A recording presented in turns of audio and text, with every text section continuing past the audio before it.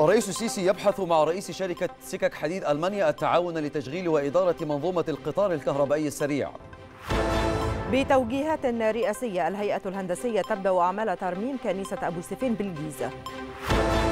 بوتين يبدي استعداده لتسليح الدول الصديقة ويؤكد أن التعاون العسكري المشترك سيعزز الاستقرار في العالم أجمع. السادسة بتوقيت القاهرة الرابعة بتوقيت جرينتش. نشرة إخبارية مفصلة تأتيكم من التلفزيون المصري. أهلا بحضراتكم. Bye.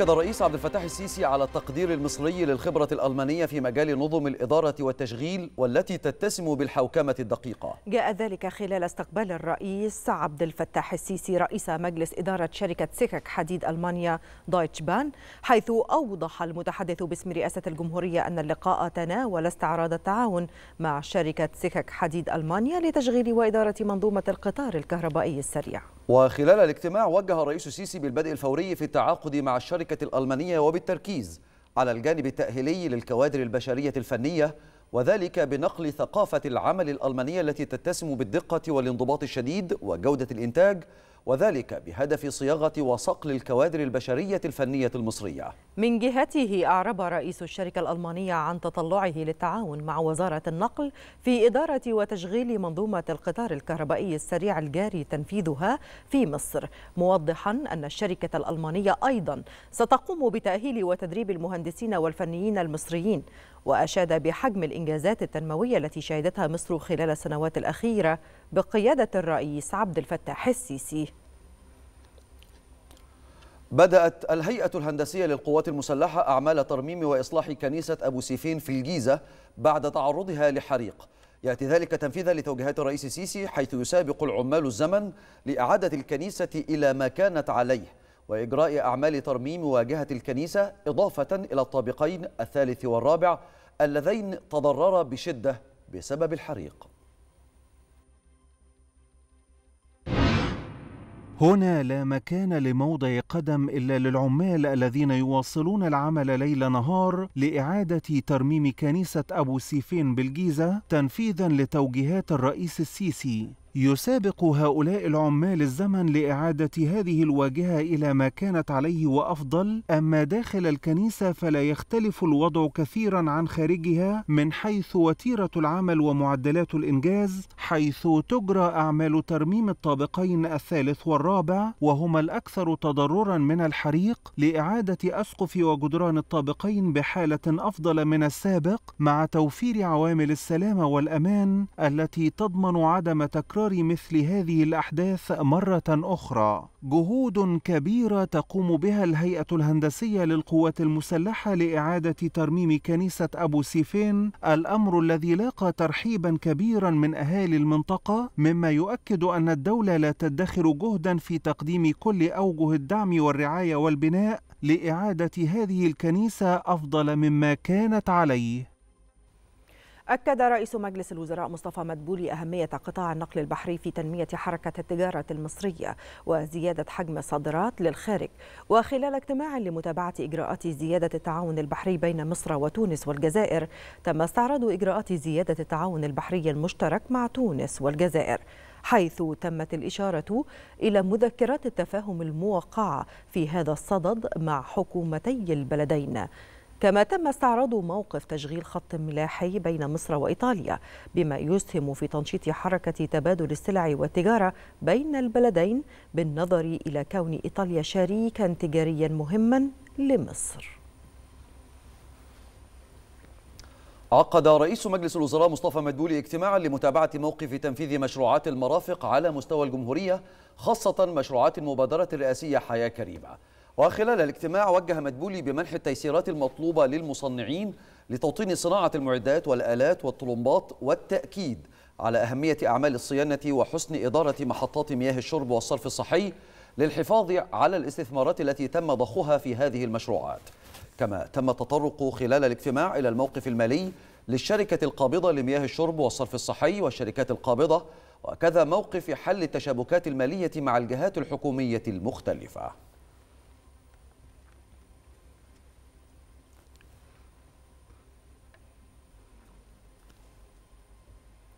اجتمع الرئيس عبد الفتاح السيسي مع رئيس مجلس الوزراء مصطفى مدبولي وذلك بحضور وزير النقل. وصرح المتحدث الرسمي باسم رئاسة الجمهورية أن اللقاء تناول متابعة مشروعات وأنشطة وزارة النقل على مستوى الجمهورية. وأضاف المتحدث الرسمي أن الاجتماع استعرض عملية التطوير الجارية لمنظومة الموانئ على مستوى الجمهورية خاصة ما يتعلق بالموقف التنفيذي لمشروعات ميناء الإسكندرية الكبير. والذي يضم ميناء الدخيلة وميناء المكس الأوسط بالإضافة إلى ميناء الإسكندرية الرئيسي. وما يتعلق بساحات البضائع العامة والبوابات وساحات الحاويات والمنظومة اللوجستية الخاصة بالميناء والأرصفة البحرية. ووجه الرئيس السيسي في هذا الإطار بالاستغلال الأمثل لكافة المساحات بميناء الإسكندرية لصالح منشآت الميناء ودراسة الاستعانة بالخبرات العالمية في الإدارة والتشغيل وذلك لتطوير الأداء وتعظيم الناتج لصالح عملية التنمية الشاملة في مصر. وأوضح المتحدث الرسمي أن الاجتماع استعرض كذلك عملية استكمال وتطوير ميناء السخنة وإنشاء المناطق اللوجستية بالميناء والساحات الجديدة كما استعرض السيد الوزير أعمال تطوير ميناء دمياط خاصة ما يتعلق بحواجز الأمواج والممر الملاحي والتكريك. وشدد الرئيس السيسي على الالتزام بالجداول الزمنية للانتهاء على وجه السرعة من إنشاء تلك المحاور لما لها من مردود حيوي لكونها تمثل شرايين تواصل ما بين ضفتي النيل وتعد وسيلة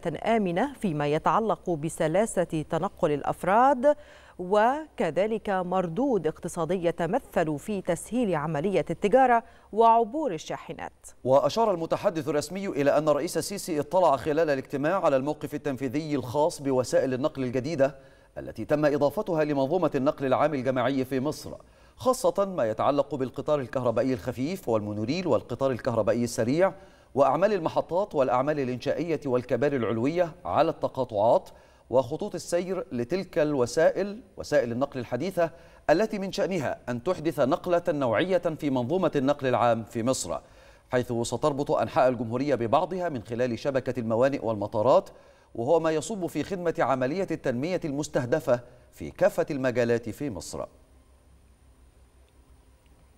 استقبلت الأمانة العامة لمجلس النواب عددا من متدربي الدفعة الرابعة من البرنامج الرئاسي لتأهيل الشباب للقيادة التابع للأكاديمية الوطنية للتدريب. وتفقد متدربو البرنامج الرئاسي القاعة الرئيسية للمجلس والمتحف ومكتبة المجلس وشاهدوا فيلما تسجيليا عن تاريخ الحياة البرلمانية. وقدم الأمين العام لمجلس النواب المستشار أحمد مناع شرحا مختصرا عن تطور الحياة النيابية والتعريف بمهام مجلس النواب وآليات عمله وفقا لنصوص الدستور واللائحة الداخلية للمجلس. في إطار استراتيجية وزارة الداخلية الرامية إلى مواجهة كافة أشكال الخروج على القانون وضبط حائزي الأسلحة النارية ومكافحة جرائم الاتجار وترويج المواد المخدرة وتنفيذ الأحكام القضائية واستهداف التشكيلات والبؤر الإجرامية ومواجهة الأنشطة غير المشروعة التي تؤثر على الاقتصاد القومي للبلاد. أسفرت جهود الوزارة خلال أسبوع عن تحقيق عدد من النتائج الإيجابية.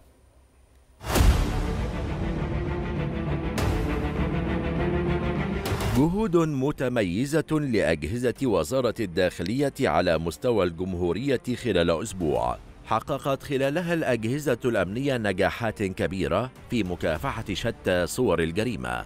فمن خلال استهداف وضبط العناصر الإجرامية شديدة الخطورة أسفرت جهود الأجهزة الأمنية عن ضبط عدد 417 عنصرا إجراميا شديد الخطورة بنطاق 24 مديرية أمن. وسابق اتهامهم في العديد من القضايا أبرزها. سرقة، سلاح، مخدرات، قتل، خطف. وضبط معهم 178 قطعة سلاح ناري وكميات كبيرة من الطلقات مختلفة الأعيرة والمواد المخدرة. وفي مجال استهداف البؤر الإجرامية شديدة الخطورة بمنطقة بحيرة المنزلة بنطاق محافظات دمياط وبورسعيد والدقهلية ومنطقة السحر والجمال بنطاق محافظتي الشرقية والإسماعيلية. تم ضبط 60 متهما وضبط معهم أسلحة نارية ومواد مخدرة.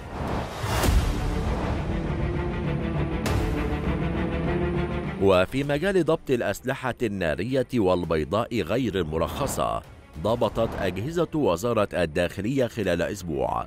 621 قطعة سلاح ناري أبرزها رشاش 79 بندقية 63 بندقية آلية و26 مسدسا و452 فرد محل الصنع. وكمية من الطلقات مختلفة الأعيرة وثمانون خزينة إضافة ل 1300 قطعة سلاح أبيض. وترسيخا لمبدأ سيادة القانون. نجحت أجهزة وزارة الداخلية في مجال تنفيذ الأحكام في تنفيذ 381,247 حكما قضائيا من بينهم. 1259 حكم جناية. ومائة وأربعة وأربعون ألفا وتسعمائة وخمسة وتسعون حكم حبس ومائة واثنان وثمانون ألفا وثلاثة وثلاثون حكم غرامة واثنان وخمسون ألفا وتسعمائة وستون حكم مخالفة. وفي مجال ضبط التشكيلات العصابية والقضايا المتنوعة نجحت أجهزة الوزارة خلال أسبوع في ضبط تسع تشكيلات عصابية ضمت 36 متهما. قاموا بارتكاب 38 حادث سرقة متنوع. وتم كشف غموض 87 حادث ما بين حريق عمد وقتل وسرقة وضبط مرتكبوها بإجمالي 147 متهما. وفي مجال مكافحة المخدرات وضبط المتاجرين فيها تمكنت أجهزة وزارة الداخلية خلال أسبوع من ضبط 991 قضية إتجار في المواد المخدرة من بينها. أكثر من 164 كيلوغرام من مخدر الحشيش. وما يقرب من 272 كيلوغرام من نبات البنجو المخدر وكمية من مخدر الهيروين وزنت ما يزيد عن 24 كيلوغرام وضبط قرابة 6 كيلوغرام من مخدر الأيس الشابو إضافة إلى أكثر من 7.5 كيلوغرام من مخدر الاستروكس وعدد 25504 قرص مؤثر. وخمسة ألاف ومائة واثنين وخمسين قرصة رامادول مخدر. هذا وتقدر القيمة المالية للمواد المخدرة بحوالي 20 مليون جنيه واصلت وزارة الداخلية حملاتها لمتابعة أسعار السلع الاستراتيجية وضبط قضايا حجب السلع والبيع بأسعار أزيد من السعر الرسمي. تمكنت الداخلية خلال 24 ساعة من ضبط 471 قضية تموينية بمضبوطات بلغت أكثر من 132 طن. وفي مجال الاستيلاء على السلع المدعومة تم ضبط قرابة 50 طن. وفي مجال عدم الإعلان عن الأسعار بقصد البيع بأزيد من السعر الرسمي تم ضبط قرابة 83 طن. أما في مجال قضايا المخابز تم ضبط 751 قضية من بينها 82 قضية خبز ناقص الوزن و46 قضية خبز غير مطابق للمواصفات. وفي مجال ضبط مخالفات التلاعب بمنظومة توريد وتداول القمح المحلي تم ضبط 13 قضية بمضبوطات بلغت قرابة 75 طن أقماح محلية.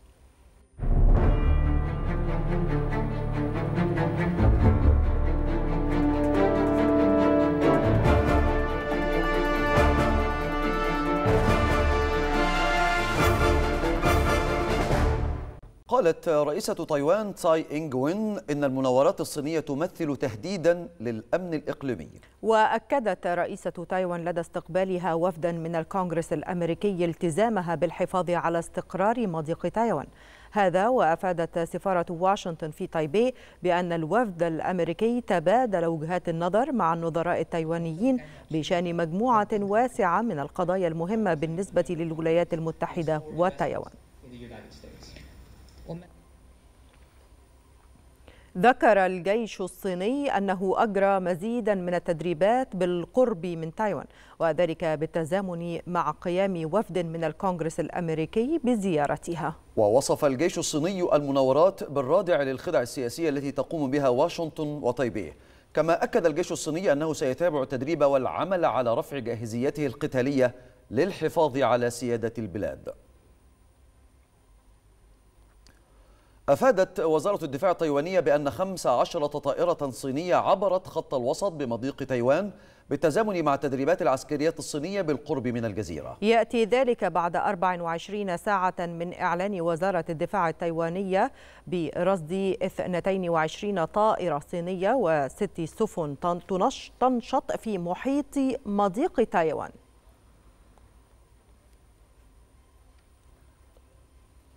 أعربت الصين عن معارضتها لأي نوع من العلاقات الرسمية بين الولايات المتحدة ومنطقة تايوان. وأوضحت السفارة الصينية بالولايات المتحدة أن بكين ستتخذ إجراءات مضادة حازمة ردا على ما وصفته بالاستفزازات الأمريكية لافتا إلى أن الزيارة التي يقوم بها وفد من الكونغرس الأمريكي إلى تايوان تثبت أن واشنطن لا تريد أن ترى الاستقرار عبر مضيق تايوان.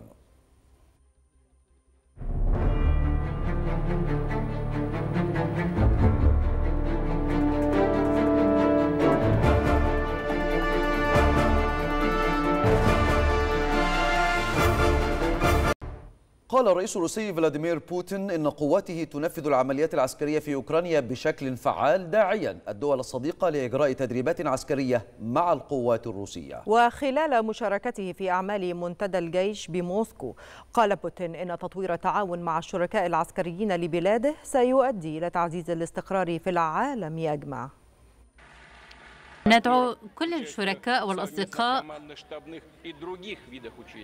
إلى إجراء التدريبات العسكرية معنا. كما يجب أن نعمل على حل المهمات خلال هذه التدريبات مما سيرفع قدرات القوات المسلحة أجمع.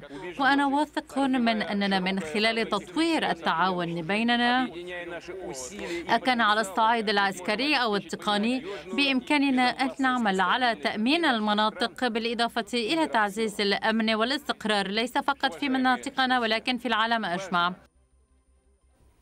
أعلنت روسيا أنها ستسهل زيارة الوكالة الدولية للطاقة الذرية لمحطة زابوريجيا للطاقة النووية جنوب أوكرانيا. يأتي ذلك وسط مخاوف بشأن سلامة المحطة التي تعرضت للقصف وسط تبادل الاتهامات بين روسيا وأوكرانيا. وقالت المتحدثة باسم وزارة الخارجية الروسية ماريا زخاروفا إن بلادها ستبذل كل ما هو ضروري ليصل متخصصو الوكالة الدولية للطاقة الذرية إلى المحطة ويقدموا تقييما واقعيا للأعمال التدميرية. بدوره طالب الاتحاد الأوروبي والولايات المتحدة واليابان وعدة دول أخرى روسيا بالانسحاب الفوري من محطة زابوريجيا للطاقة النووية وعودة المحطة تحت السيادة الأوكرانية. واعتبر البيان تمركز أفراد عسكريين روس وأسلحة روسية في المنشأة النووية أمر غير مقبول.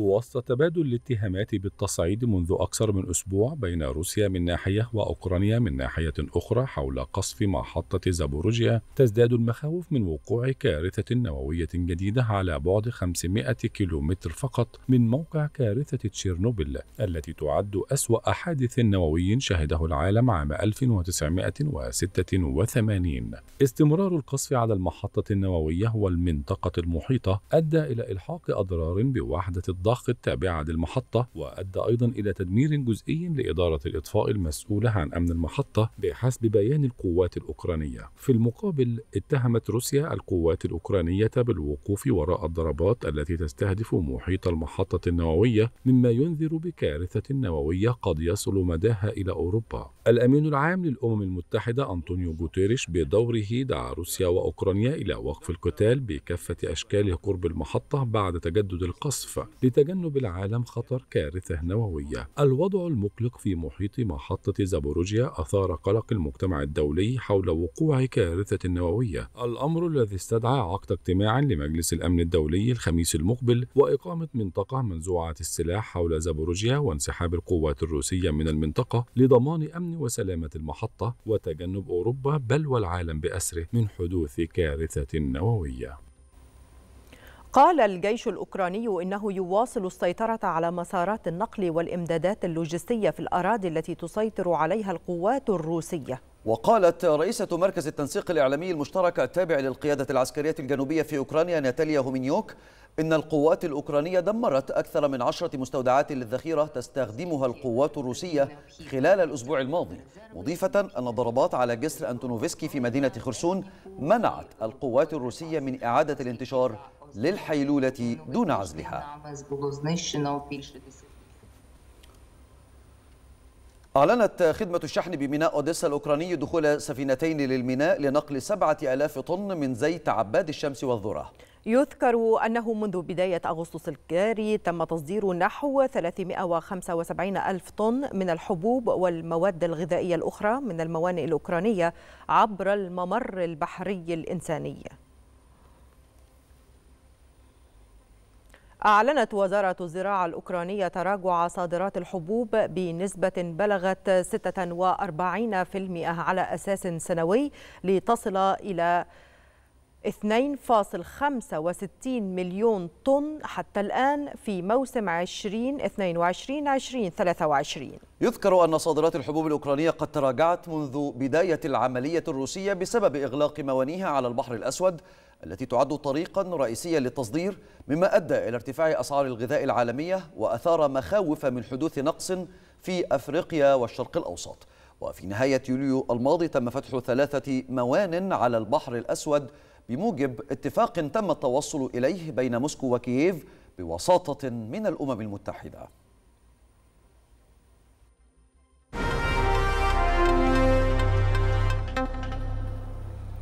ظهرت بيانات شركات تشغيل الغاز الروسي أظهرت استقرار تدفقات الغاز إلى أوروبا عبر بعض خطوط الأنابيب الرئيسية. كانت إدارة معلومات الطاقة الأمريكية أكدت الأسبوع الماضي أن صادرات روسيا من الغاز الطبيعي عبر خطوط الأنابيب إلى الاتحاد الأوروبي والمملكة المتحدة هبطت بحوالي 40% في الأشهر السبعة الأولى.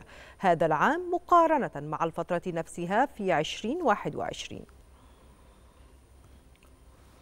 في سياق متصل تراجعت صادرات الأسمدة الروسية بنسبة 7% في النصف الأول من العام نتيجة للعقوبات الغربية على موسكو.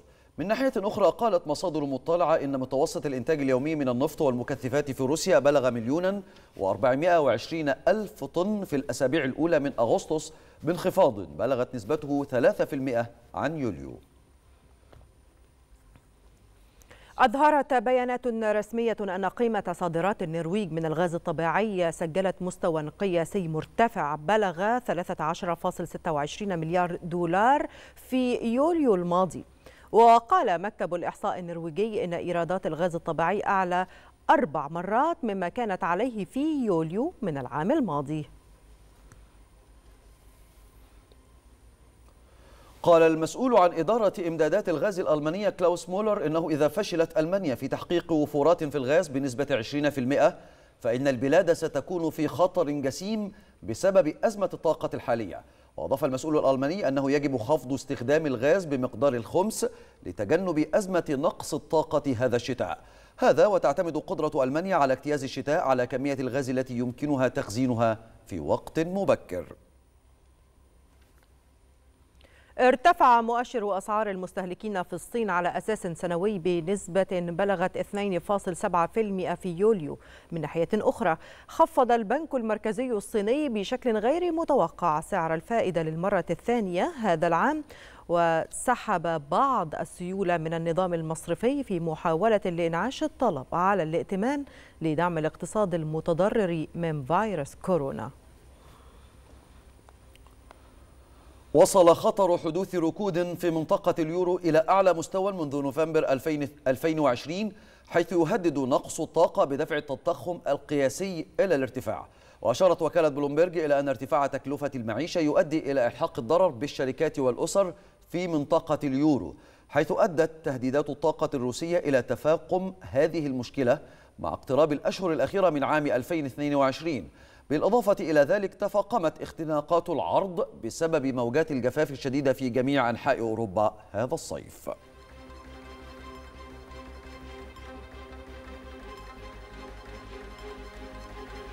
السادسة مستمرة وتتابعون فيها.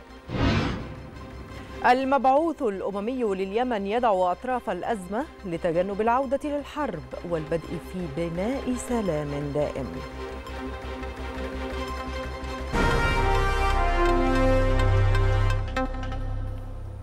أعلن مبعوث الأمم المتحدة الخاص إلى اليمن هانس جرونبرغ أن الهدنة ما زالت صامدة على نطاق واسع من الناحية العسكرية في اليمن.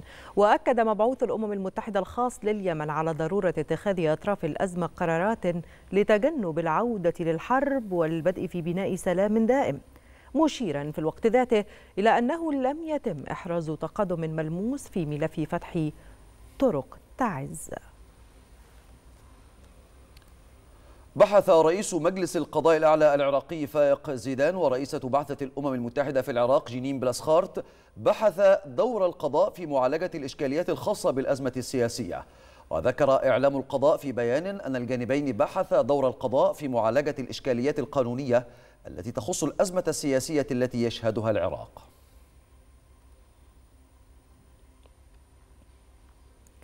أعلن الرئيس الكوري الجنوبي يون سوك يول أنه سيقدم حزمة مساعدات كبيرة لكوريا الشمالية مقابل نزع سلاحها النووي. هو عرض لطالما رفضته بيونغ يانغ يأتي اقتراح سول بعد أيام على تهديد بيونغ يانغ بالقضاء على سلطات كوريا الجنوبية على خلفية التفشي الأخير لفيروس كورونا في الشمال.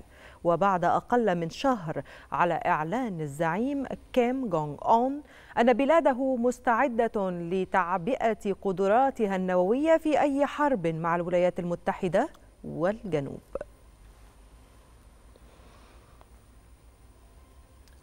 أعلنت لجنة الانتخابات الكينية عن فوز نائب الرئيس ويليام روتو في انتخابات الرئاسة. وخلال كلمة له عقب فوزه في الانتخابات قال روتو إن الانتخابات كان هدفها حل المشكلات وليس مراعاة التكوينات العرقية. مضيفا أنه بحاجة إلى تكاتف الجميع للتحرك قدما. روتو ويليام تعهد رئيس الوزراء الهندي ناريندارا مودي بالعمل على تحويل بلاده إلى دولة متقدمة بحلول عام 2047 قال مودي بمناسبة الذكرى الخامسة والسبعين لاستقلال الهند عن الحكم البريطاني قال إن نظرة العالم للهند بدأت تتغير وأن العالم يتطلع إليها للمساعدة في حل القضايا العالمية. وأضاف مودي أن الهند تسترشد بقيم الاعتماد على الذات وروح الشراكة الدولية لتحقيق التميز في العلوم والتكنولوجيا ولإقامة الصناعات وتحقيق أمن الغذاء والطاقة. جدد رئيس الوزراء الياباني فوميو كيشيدا تعهد اليابان بعدم الحرب خلال احتفال بلاده بذكرى 77 لهزيمتها في الحرب العالمية الثانية. وركز كيشيدا إلى حد كبير على الأضرار التي لحقت باليابان بسبب القصف الذري الأمريكي على هيروشيما وناغازاكي والقنابل الحارقة الهائلة في جميع أنحاء اليابان والمعركة البرية الدموية في أوكيناوا. وأضاف رئيس الوزراء الياباني أن السلام والازدهار الذي تتمتع به البلاد اليوم مبنيان على معاناة وتضحيات أولئك الذين ماتوا في الحرب. أعلن مسؤولون إسبان عن خروج حريق غابات ضخم عن السيطرة في ظل الرياح العاتية جنوب شرق إسبانيا. وأوضح قائد جهاز الطوارئ الإقليمي خوسيه ماريا أوضح أن مئات عناصر الإطفاء تساندهم ما يقرب من 25 طائرة ومروحية حاولوا إخماد النيران التي دمرت أكثر من 6500 هكتار من الأراضي. بينما فر أكثر من 1200 شخص من منازلهم. مشيرا إلى أن الرياح العاتية تعقد جهود إخماد الحرائق في منطقة يصعب الوصول إليها بسبب تضاريسها الوعرة تصل مستويات المياه في نهر الرين بألمانيا إلى نقطة منخفضة للغاية في الأيام المقبلة ما يجعل من الصعب على نحو متزايد نقل البضائع بما في ذلك الفحم والبنزين حيث يسيطر الجفاف وأزمة الطاقة على أوروبا. ووفقا للإدارة الفيدرالية للممرات المائية والشحن فقد يبلغ النهر 32 سنتيمتر صباح يوم الاثنين أي نحو خمسة, خمسة سنتيمترات أقل من نفس الوقت في اليوم السابق. كانت وكالة الأنباء الألمانية قد أفادت بأن منسوب المياه قد يتأرجح بين 31 و 33 سنتيمترا بحلول يوم الجمعة وذلك وفقا لتوقعات الإدارة. أفادت بيانات من وكالة البيئة البريطانية أن مستويات المياه في طبقات المياه الجوفية في جميع أنحاء إنجلترا أصبحت منخفضة بشكل استثنائي. يأتي ذلك بالتزامن مع إعلان حالات جفاف في عدة أجزاء من إنجلترا مع تسجيل البلاد أعلى درجات حرارة هذا الصيف على الإطلاق. مع انتشار الجفاف في عدة أجزاء من إنجلترا تستمر درجات الحرارة الحارقة في استنفاد الخزانات والأنهار والمياه الجوفية في البلاد. مستويات المياه في الطبقات الجوفية في جميع أنحاء إنجلترا باتت منخفضة بشكل استثنائي وسجلت البلاد أسخن صيف على الإطلاق. في نهاية يوليو قالت وكالة البيئة إن مستويات المياه كانت أقل من المعتاد في العديد من مواقع المراقبة وكانت منخفضة بشكل خاص في كوتسوولدز وساوث داونز ويوركشاير وولدز هنا في منطقة ساسكس تضخ شركة مياه الجنوب 172 لترا في الثانية من طبقة المياه الجوفية الطباشيرية لتزويد مدينة برايتون القريبة بالمياه وذلك بالتزامن مع استعدادات المدينة لفصول صيف قادمة. أشد جفافا كنتيجة لتغير المناخ. في تلال مينديب في سومرست تقلصت تيارات المياه والتي كانت تتدفق عادة عبر الكهوف المظلمة في الشتاء إلى قطرات قليلة. علماء المناخ فوجئوا بالسرعة التي ارتفعت بها درجات الحرارة في بريطانيا في السنوات الأخيرة وما تلا ذلك من فرض السلطات حظرا على استخدام خراطيم المياه في بعض مناطق البلاد وهو الأمر الذي تستعد له لندن في القريب العاجل.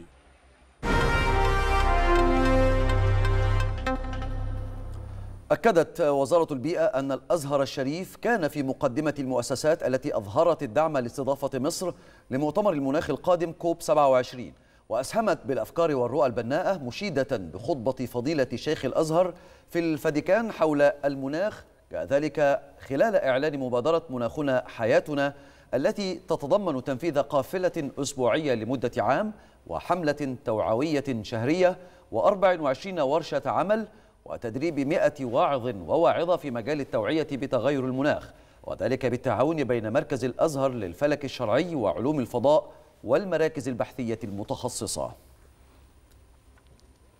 أكد وزير التنمية المحلية هشام أمن أن تحسين مستوى الخدمات المقدمة للمواطنين على رأس أولويات العمل خلال الفترة القادمة تنفيذا لتوجيهات الرئيس عبد الفتاح السيسي.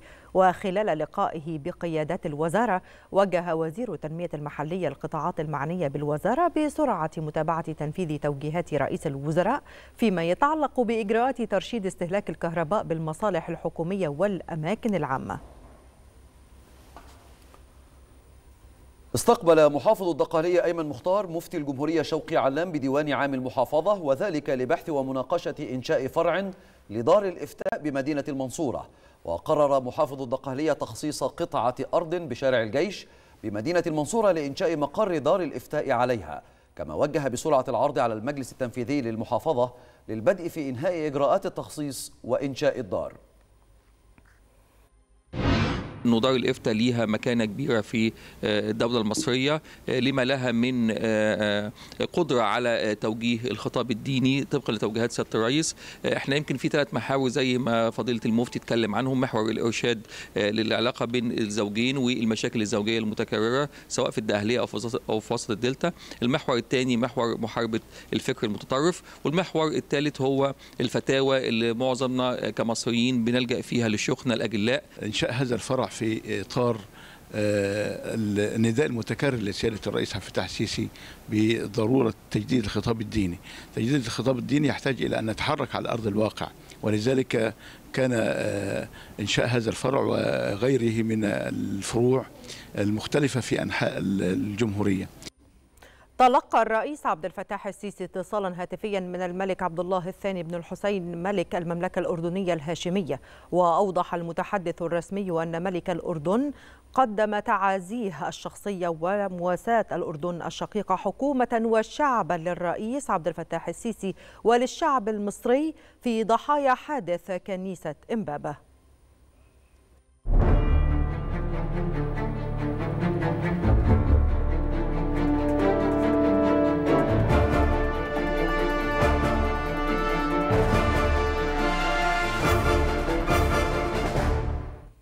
أعلنت مؤسسة حياة كريمة إطلاق أول فعالية توعوية موسعة بالفيوم في الفترة من الخامس عشر إلى العشرين من أغسطس الجاري.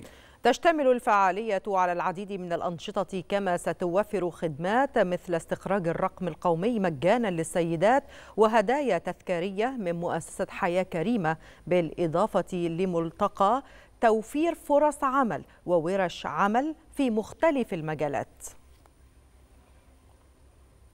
نظمت وزارة الصحة قافلة طبية مجانية بمدينة التل الكبير بمحافظة الإسماعيلية. ضمت القافلة كل التخصصات الطبية بالإضافة إلى صيدلية تتوافر بها كل الأدوية كما يتم تحويل الحالات التي تحتاج إلى إجراء عمليات جراحية. إلى المستشفيات التابعة للهيئة العامة. للرعاية الصحية مجاناً. نظمت مديرية الصحة في المنيا قافلة طبية علاجية في قرية الهمة بمركز مطاي. ضمت القافلة العديد من التخصصات منها الأطفال والبطنة والأسنان والقلب والصدر وتستهدف القافلة القرى الأكثر احتياجا بالمحافظة. معنا تخصصات النهارده قلب وبطنة وأطفال ونساء وخدمات تنظيم أسرة وجراحة وجلدية وأنف وأذن وأسنان. بالإضافة لدواء تثقيف صحي معايا معمل دم ومعمل بارا جهاز اشعه إكس راي معايا صيدلية بيها كل التخصصات كل الأدوية الخاصة بالتخصصات المذكورة. الأدوية بيتم صرفها مجانا الخدمة مجانا.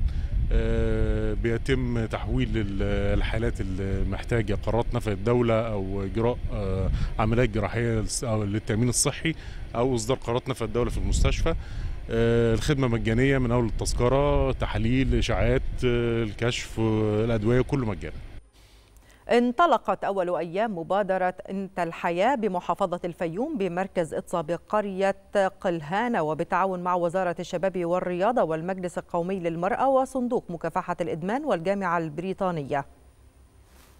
يأتي ذلك في إطار المبادرة الرئاسية حياة كريمة حيث تستمر مبادرة أنت الحياة حتى العشرين من أغسطس الجاري حيث تمت خلال اليوم الأول العديد من الفعاليات والورش بالتعاون مع الجهات الشريكة كما تفقد محافظ الفيوم أحمد الأنصاري والوفد المرافق الفعاليات التي تتم ضمن المبادرة.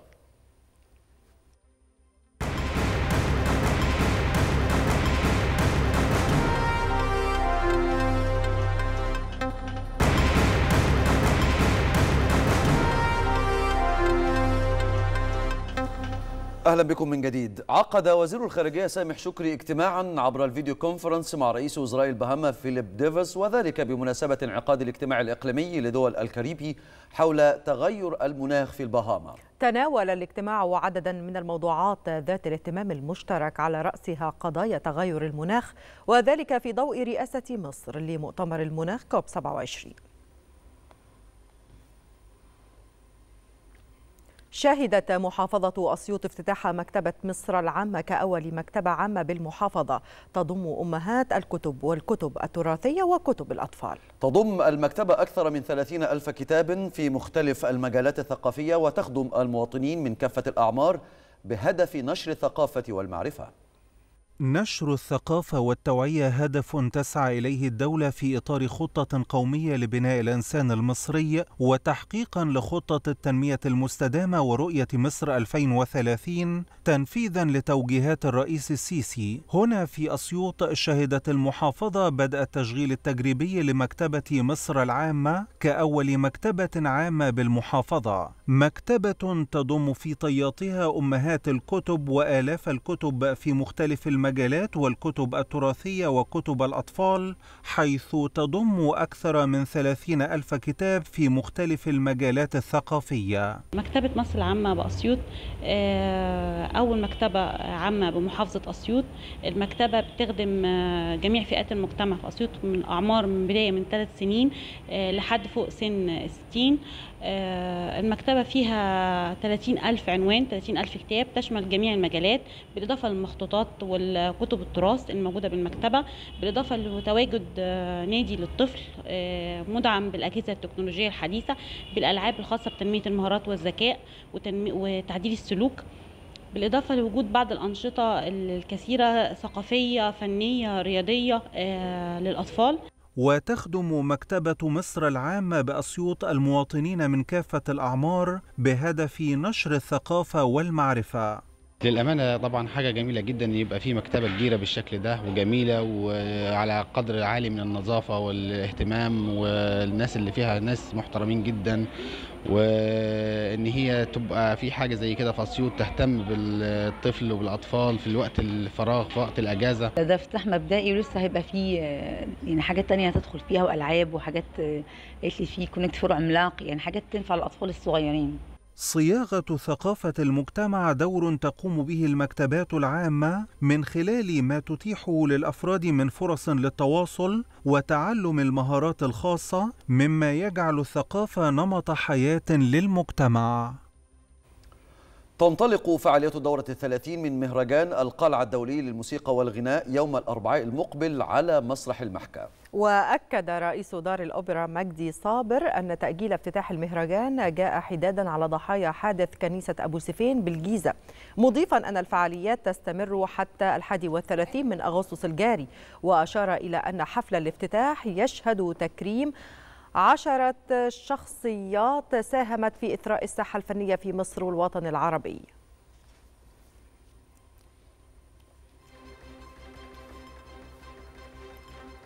والآن إلى آخر أخبار المال والأعمال. مع ميرفت المليجي نتحول إليك ميرفت أهلا بك. أهلا بك نهى شكرا يوسف وأهلا بكم مشاهدينا مع أخبار المال والأعمال أخبار الاقتصاد.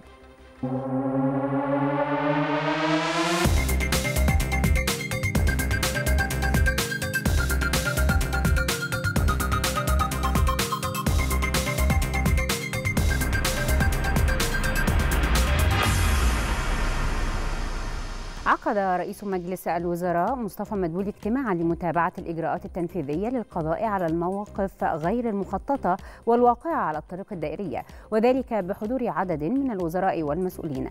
وخلال الاجتماع أكد رئيس مجلس الوزراء أنه لابد من العمل على القضاء على المواقف غير المخططة بمسار الطريق الدائري بكل حزم مشيرا أنه سيتم منع هذه الظاهرة غير المقبولة من خلال تحديد أماكن لمواقف سيارات الميكروباص أسفل الطريق الدائري. كما كلف مدبولي بوضع تصور سريع لزراعة وتشجير الطريق الخدمي المحيط بالطريق الدائري وبدء تنفيذ ذلك على الفور. وذلك في إطار المبادرة الرئاسية للتشجير المعنية بزراعة 100 مليون شجرة. بحث وزير الكهرباء محمد شاكر مع سفيرة سلوفينيا بالقاهرة فرص الاستثمار المتبادل في مجال الكهرباء والطاقة الجديدة والمتجددة ومجالات الهيدروجين الأخضر. وأكد وزير الكهرباء اتخاذ العديد من الإجراءات لتشجيع مشاركة القطاع الخاص في مشروعات الطاقة الجديدة والمتجددة مشيرا إلى تقدم عدد كبير من المستثمرين من القطاع الخاص الأجنبي والمحلي للدخول في هذه المشروعات.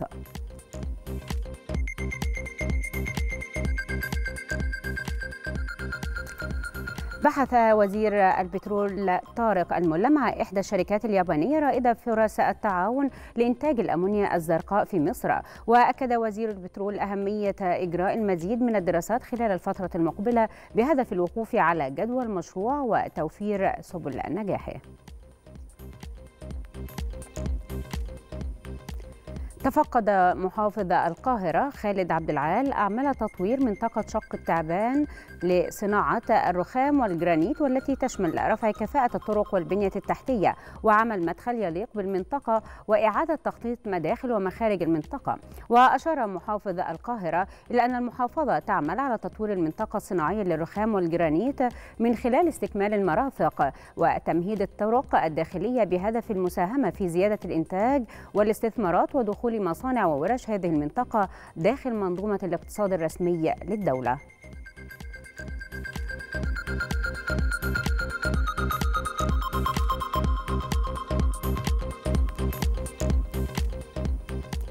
نتحول إلى أسواق المال حيث تباينت مؤشرات البورصة المصرية في ختام التعاملات وسط عمليات شراء موسعة من قبل المستثمرين المصريين والعرب. وارتفع رأس المال السوقي بنحو ملياري و600 مليون جنيه ليغلق عند مستوى 660 مليار و980 مليون جنيه. وذلك وسط تداولات كلية بلغت نحو 6 مليارات جنيه. أما على صعيد المؤشرات فقد فتح مؤشر EGX 30 عند مستوى 9984 نقطة وأغلق عند 9914 نقطة متراجعا بنسبة 7 من 10% أما الارتفاعات فكانت من نصيب مؤشر EGX 70 والذي فتح عند 2129 نقطة وأغلق عند 2130 نقطة مرتفعا بنسبة 6 من 100% وقد تراجع مؤشر EGX 100 والذي تراجع بنسبة 25 من 100% ليغلق عند مستوى 3048 نقطة. نتحول إلى أسواق العملات حيث تباينت أسعار العملات أمام الجنيه المصرية. ليسجل الدولار الأمريكي 19 جنيها و9 قروش للشراء و19 جنيها و17 قرشا للبيع. اليورو 19 جنيها و46 قرشا للشراء و19 جنيها و54 قرشا للبيع. في حين سجل الجنيه الاسترليني 23 جنيها و7 قروش للشراء و23 جنيها و17 قرشا للبيع. وأمام العملات العربية سجل الدرهم الإماراتي 5 جنيهات و19 قرشا للشراء و5 جنيهات و22 قرشا للبيع. الريال السعودي سجل 5 جنيهات و8 قروش للشراء و5 جنيهات و10 قروش للبيع. في الأسواق الأمريكية فتحت المؤشرات الرئيسية في وول ستريت على تراجع وذلك على غرار الأسواق العالمية بعد بيانات ضعيفة من الصين أثارت مخاوف من تباطؤ الاقتصاد في ثاني أكبر اقتصاد في العالم. وهبط المؤشر داو جونز الصناعي عند الفتح بنسبة 15% من 100% كما فتح المؤشر ستاندر أند بورز 500 على تراجع بنسبة 25 من 100% كما هبط المؤشر ناسداك المجمع بنسبة 39 من 100%.